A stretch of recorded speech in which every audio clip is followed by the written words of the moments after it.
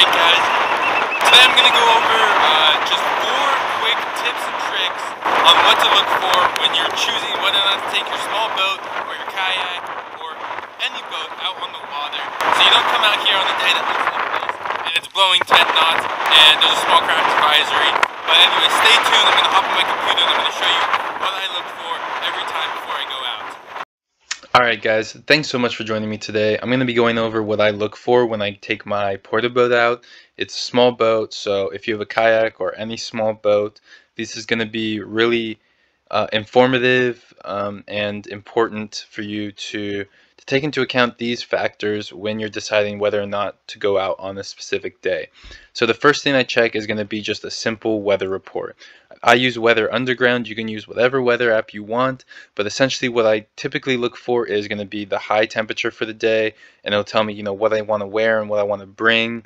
Um, then I hop into the hourly here, and the hourly is really convenient because you can see the wind by hour, which I find to be extremely helpful. For example, today is probably going to be relatively calm all day, but if I look at tomorrow, we'll get a better understanding of why I like to use it per hour.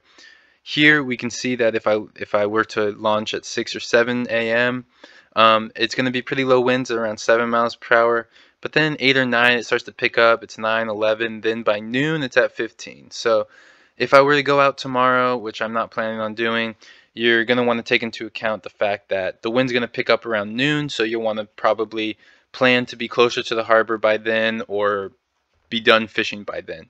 Um, just keep that in mind. Uh, and uh, the last thing you want to check here on the weather report are going to be these active advisories.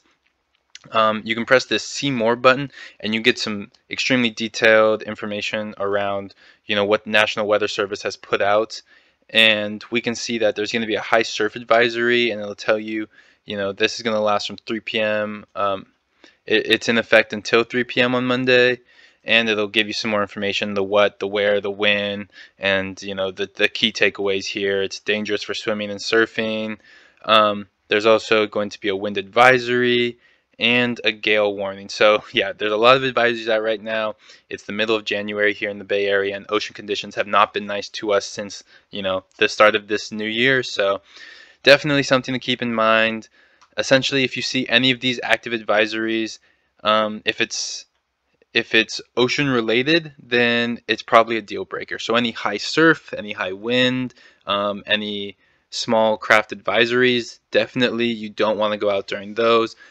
Weather aside, the next thing I like to check is the tides. I like to check the tides uh, for two main reasons. Um, first off, the spot that I launch from is uh, not really accessible during a peak high tide. So I just want to try and plan my day around the high tide to make sure I'm either launching before it or after it.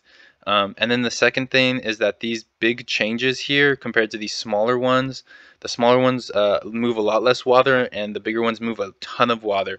So if you're entering and exiting the harbor, just keep that into account. Um, you know, if the tide's going out pretty heavily, if you're you know, if it's two or three and, and it's around, you know, this part where the tide's dropping pretty drastically and you're trying to make it back in the harbor, just know it's going to take you longer. And, you know, if you're, if you have a kayak, you might have to pedal a lot harder or, or paddle a lot harder in order to get, you know, into the harbor. So just keep that in mind and uh, you guys should be just fine. The next thing you're going to want to check here is going to be a swell report. Magic Seaweed super popular, so I know I can recommend it. I've used it uh, with success, but essentially you can just type in where you're going to be fishing. This one's at the it's called the Princeton Jetty, which is essentially just the uh, right where that harbor is at Half Moon. Here you can see it on the map. Um, and it'll tell you there's a primary swell about 5 feet every 23 seconds, but then there's also a secondary swell that's also 5 feet at 13. So what does this mean? So a, a swell height is measured in feet typically, or a, a unit of distance, and um, a 5 foot swell means that the waves are going to be 5 feet tall. And this interval here, 23 seconds, is going to be how far apart those waves are. So for example, the primary swell is going to be a five foot wave and you're going to see about one wave every 23 seconds. Um, and so what you want to look for is lower swells and longer intervals. That's the most ideal for being out in the boat. As you can see, This um, this surf height graph is very useful to, for determining the the swell heights when you're deciding whether or not to go out. Um, so if we look at tomorrow at 9 a.m., if I wanted to go out, I'd take this information into account. There's going to be a nine and a half foot swell approximately, so a 10 foot wave almost. That's pretty high, and it is coming in at 18 seconds. But with a 10 foot wave, I'm not going out. Anything under five is is what I look for, and I like an interval closer to 20 seconds here. Um, that would be ideal, not always necessary, depending on the wave height. So, for example, on Wednesday, um, they only have, if we look here, just noon on Wednesday. I don't know why this likes to move around on me. On noon on Wednesday, there's a two and a half foot swell, which is pretty small, and it's coming in at 17 seconds, which is long enough for me, and I would consider that to be good swell conditions. Um, but this isn't, you know, the only thing to take into account. You're also going to look at the tides and the weather. But that aside, um, those are like the three core things that you should always take into account when you're when you're going out to actually you know decide whether or not you want to take your your boat or your vessel out. Um, the last thing though that I look at is my secret weapon. It's live cam footage. So this one here is of Pacifica Pier, and I think it's bar none the most valuable resource you can have um, when you're deciding whether or not to go fishing. Luckily, here in the Bay Area, we have a lot of live cams. Uh, I'm sure any popular boating and fishing spots will have some live cam set up. They're becoming more popular, and this one in particular, you can see the the Pacifica Pier. I know it's a very popular fishing spot here in the bay, and uh, you can look and see exactly what conditions are going to be like because this has been updated. You know, this is only a minute ago, so you know that this is this is accurate, and uh, you know that this is what you're going to expect when you go out there. So today you can see these swells are five to six feet tall, maybe even larger, and they're crashing pretty heavily against the uh, jetty, the pier there. So definitely don't want to be going out in these conditions. You can see how rough it looks out there and the wind's blowing pretty substantially. There's this flagpole here that lets you see that.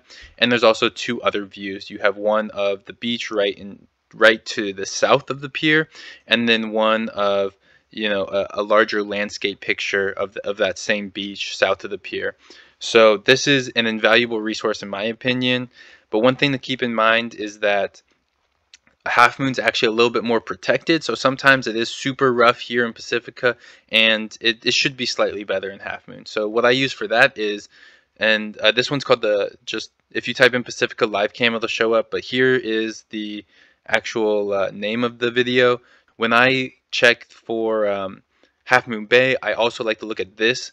This is from the Ritz Carlton, which is a few miles south of the harbor. You can see the harbors here in the distance, um, but you can tell that these waves are significantly uh, smaller, but it's still relatively rough. Um, so just keep that in mind. Anyways, these two live cams I think are extremely important in, in deciding whether or not I'm going to go out. If you have live cams in your area, I highly recommend taking a look at them. Um, and these aren't the only live cams available. They don't always have to be on YouTube like these ones are. These ones are nice and easily accessible, but there's also smaller picture cams. So for example, here's one from Sam's Chowder House. Sam's Chowder House is right next to the harbor, so this is Half Moon Bay's harbor. And if I zoom in for you guys, you can actually see these are updated every 10 seconds. So this will give you a good idea of how the harbor looks, and you can even see out into the ocean a little bit. Unfortunately, since they are pictures, you can't really quite tell, you know, how big the swell is and how quick the interval is, but they update every 10 seconds, so you know that this is going to be um, accurate data in determining whether or not today's going to be a good day to go out. I also like to look at just how many people are out here. Here you can see there's, you know, probably a couple hundred people. You can see them out on the jetty.